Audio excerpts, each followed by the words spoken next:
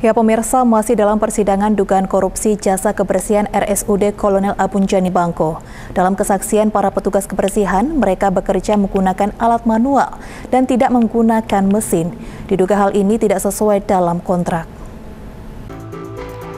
Dua terdakwa dugaan korupsi jasa kebersihan RSUD Kolonel Abunjani Bangko, yakni mantan Direktur RSUD Kolonel Abunjani, Berman Saragi, bersama rekannya Baby, menjalani persidangan dengan agenda pemeriksaan saksi yang dihadirkan Jaksa Penuntut Umum di Pengadilan Tipikor Pengadilan Negeri Jambi, 26 September 2022.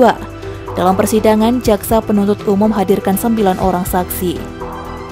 Jaksa penuntut umum Arliansyah mengatakan, mengenai alat yang digunakan yang diduga tidak sesuai kontrak, alat yang digunakan secara manual dan para saksi saat bekerja tidak ada yang menggunakan mesin seperti yang disebut dalam kontrak. Alat tadi ya tadi sudah kita apa konfirmasi kita sudah sampaikan juga ya memang alatnya manual semua tadi kan Pak Ibu Hakim tadi bilang oh kalau seperti ini saya takut ke rumah sakit alat-alatnya pakai manual semua, nggak ada pakai mesin, nggak ada pakai polisher mesin itu. Nah ini sesuai kontraknya gimana pak? Seharusnya pakai pakai peralatan, pakai mesin itu kan.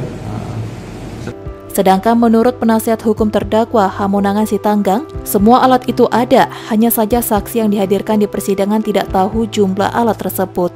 Alang tadi ada semua barang itemnya sesuai itemnya, cuman kalau jumlah sih mungkin yang mereka nggak tahu. Kalau apanya kita tanyakan mengenai macam-macam peralatannya yang ada mereka akui ada jumlah yang mereka memang nggak tahu jumlahnya Iqbal, Cek TV, melaporkan.